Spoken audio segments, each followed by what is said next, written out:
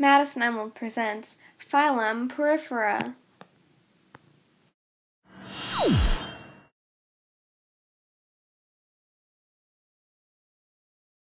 What characteristics do all sponges have?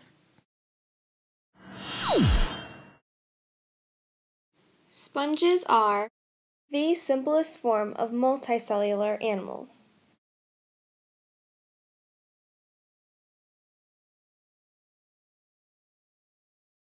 All diploblastic. Adults may have multiple cell layers, but initially arise from two. Mostly asymmetrical, meaning it lacks symmetry. Sponges lack true tissues, true organs, body symmetry, and cell walls, meaning no brain.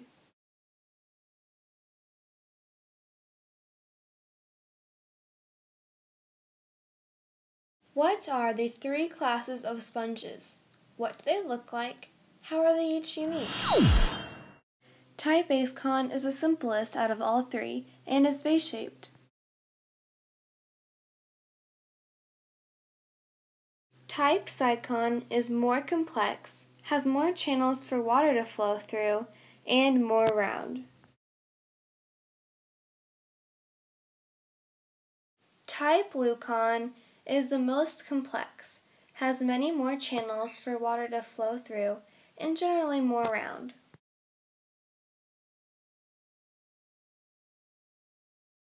Hexactinellida have glass sponges and their bodies are shaped in intricate patterns. Calcarea have calcium carbonate skeletons.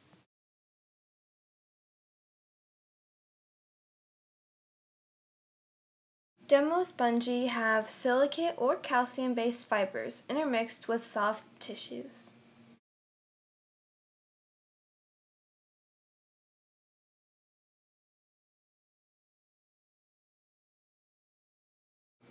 What are the cell types and what are their jobs?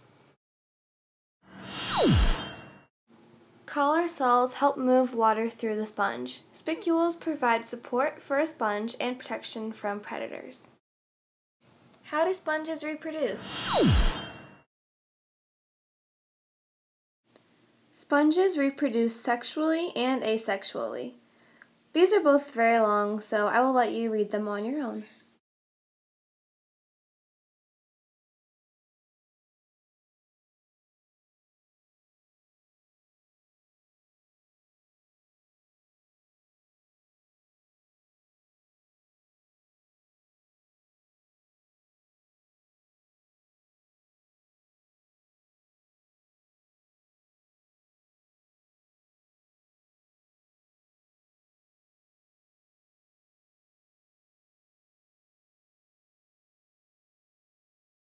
Are sponges really toxic?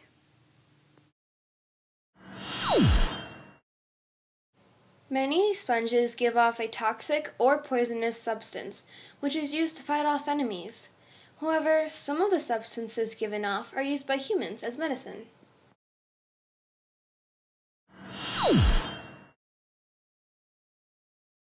Thanks for watching!